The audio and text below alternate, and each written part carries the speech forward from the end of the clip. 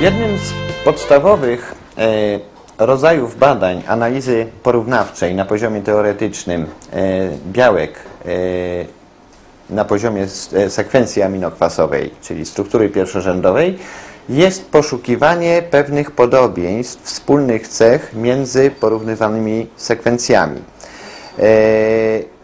Te y, porównania y, służą temu, żeby wyszukać pewne wspólne cechy, które mają swoje dalsze konsekwencje zarówno na poziomie struktury przestrzennej, jak i oczywiście funkcji fizjologicznej, która jest naszym głównym celem badań, ponieważ no, chcemy te, te białka jakoś zaprząc do pracy, wykorzystać zgodnie z naszymi e, chęciami, z naszymi przewidywaniami, z tym, o co nam e, chodzi.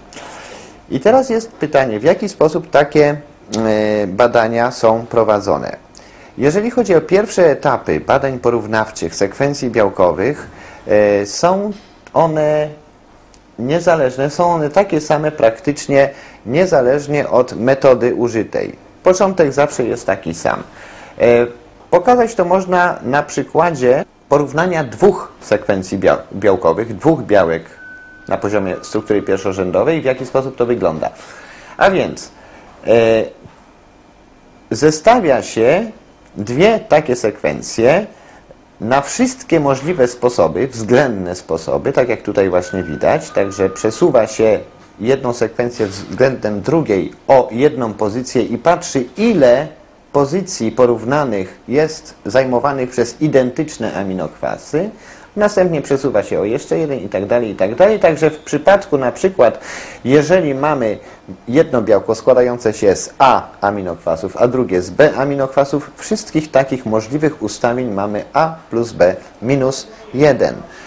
Następnie każdy z tych, usta- każdy z tych ustawień jest analizowany w aspekcie pod względem liczby, względnej liczby, względnej ilości pozycji, które są identyczne. Na czarno zaznaczone są właśnie takie pozycje, które są identyczne. Przy takim ustawieniu akurat znalezione zostało takie ustawienie, gdzie tych pozycji identycznych jest rzeczywiście względnie wysoki udział. Tu mamy inne ustawienie, gdzie jest ich mniej, ale jest to o tyle interesujące, że one są skupione w jednym miejscu. I jest to inne miejsce niż w przypadku tego ustawienia, gdzie tutaj, powiedzmy, na tym prawym końcu nie było takiej identyczności obserwowanej. To jest oczywiście pierwsze podejście. No i na tej podstawie ustala się po znalezieniu, powiedzmy, takiego ustawienia najbardziej optymalnego, oblicza się, jaki jest procentowy udział pozycji identycznych w porównaniu do wszystkich, w stosunku do wszystkich pozycji porównywanych. Jest to podstawowe kryterium, na podstawie którego się y, określa podobieństwo, czy też stopień identyczności porównywanych białek. Ale czy to wystarczy? Wyobraźmy sobie coś takiego, że mamy dwie pary białek, takie dwa zestawienia, jedno tak jak tutaj i jakieś dwa inne białka. W jednym przypadku procent identyczności wynosi 33, w innym przypadku, w tym drugim, procent identyczności jest równy 20. Oczywiście każdy by powiedział, że w takim układzie ten, ta para, która wykazuje 33%, jest, wykazuje wyższą identyczność, znaczącą, bardziej znaczącą, niż w przypadku tych 20%. E, No ale tutaj nie powiedziałem o jeszcze jednym kryterium, które często błędnie jest pomijane. To jest niewłaściwy sposób podejścia. Mianowicie tam, gdzie był wyższy procent identyczności, te 33, mieliśmy do czynienia z porównywaniem bardzo krótkich sekwencji. Każda z sekwencji składała się z trzech elementów, z trzech aminokwasów. I tylko jeden element, tylko jedna pozycja była identyczna. Coś takiego może być kwestią przypadku. W przypadku drugiej pary, gdzie mieliśmy do czynienia z 20% identyczności, e, białka te składały się, dajmy na to, z 2000 aminokwasów, a więc 400 pozycji, żeby było 20%, 400 pozycji musiało wykazywać identyczność i to już przypadkiem nie może być. W związku z tym, jak widać, E, Wzięcie pod uwagę wyłącznie kryterium procentu identyczności nie jest wystarczające. Rozważmy zatem, jakie są kryteria, które powinny być uwzględnione przy oszacowaniu stopnia istotności e, identyczności porównywanych sekwencji białkowych. A więc zawartość procentowa pozycji identycznych, oczywiście jak najbardziej, to co właśnie każdy bierze pod uwagę.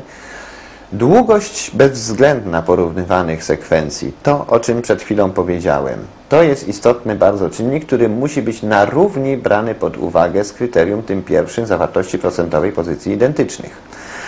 Trzecie kryterium, rozmieszczenie identycznych pozycji wzdłuż porównywanych sekwencji. Mamy tutaj dwa przykłady.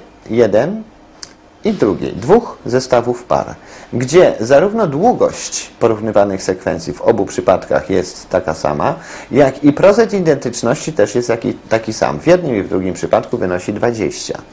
Ale jak widzimy, rozmieszczenie pozycji identycznych tu jest jakby rozsiane wzdłuż całej sekwencji, która jest porównywana, a tu jest skupione w jednym miejscu. Który z tych przypadków jest bardziej jakby istotny, wskazujący na to, że jest jakaś relacja, jakieś pokrewieństwo tymi, między tymi białkami?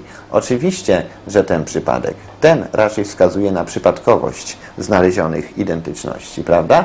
A więc mamy trzecie kryterium, rozmieszczenie identycznych pozycji wzdłuż porównywanych sekwencji.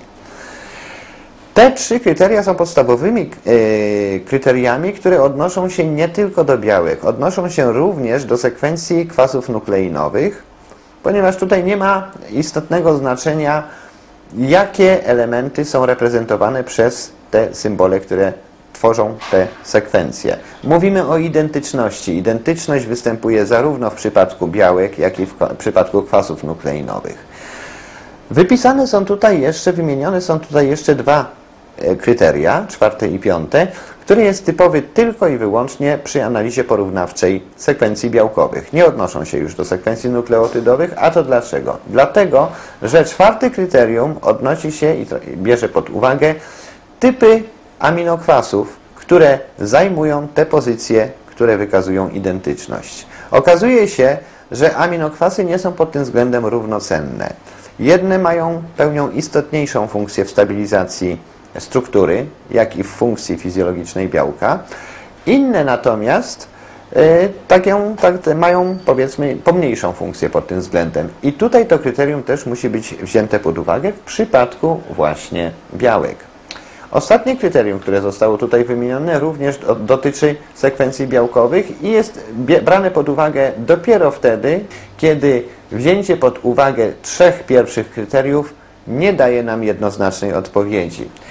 E, wtedy jest to jakby wspomagające kryterium, które nam pozwala na uzyskanie takiej odpowiedzi jednoznacznej. Mianowicie kryterium to odnosi się do e, analizy fragmentów, które nie są identyczne, pozycji, które nie są zajmowane przez te same aminokwasy, tylko przez różne, ale między tymi aminokwasami występują pewne wspólne cechy pewne wspólne relacje. Mogą to być na przykład aminokwasy należące do tej samej grupy pod względem na przykład charakteru hydrofobowego czy hydrofilnego, czy aminokwasy obydwa zasadowe, jak lizyna czy arginina, prawda? Albo obydwa kwaśne, jak kwas asparaginowy i kwas glutaminowy. To je łączy, wspólne cechy. Mogą to być podobieństwa genetyczne, jeżeli chodzi o kodony kodujące te aminokwasy, kodony trójki nukleotydów, mogą się różnić tylko w jednej pozycji. Aminokwasy, które są wynikiem ekspresji takich kodonów, będą różnymi aminokwasami. Niemniej jednak podobieństwo genetyczne istnieje, ponieważ bardzo podobne są kodony. Jak zatem widać z przedstawionego e, zestawienia kryteriów, jest ich więcej niż jedno. Mamy pięć podstawowych kryteriów, a dokładniej mówiąc trzy ogólne i dwa, które odnoszą się tylko do porównania sekwencji białkowych i nie wystarczy wzięcie pod uwagę tylko jednego, jedynego kryterium, jakie zwykle jest brane, to znaczy kryterium procentu, e, procentowej zawartości identy, e, identyczności. Zatem podsumowując, podsumowując, należy pamiętać o trzech ogólnych kryteriach zasadniczych, E, obejmujących zawartość procentową pozycji identycznych, długość bezwzględną porównywanych sekwencji oraz rozmieszczenie pozycji, które wykazują identyczność, to się odnosi do wszystkich sekwencji, oraz dwa kryteria wspomagające, odnoszące się do e, sekwencji białkowych, dotyczące typu reszt, typu aminokwasów okupujących pozycje identyczne oraz analizy fragmentów, które nie wykazują identyczności, ale mogą wykazywać podobieństwo bądź strukturalne, bądź fizykochemiczne, bądź na poziomie genetycznym.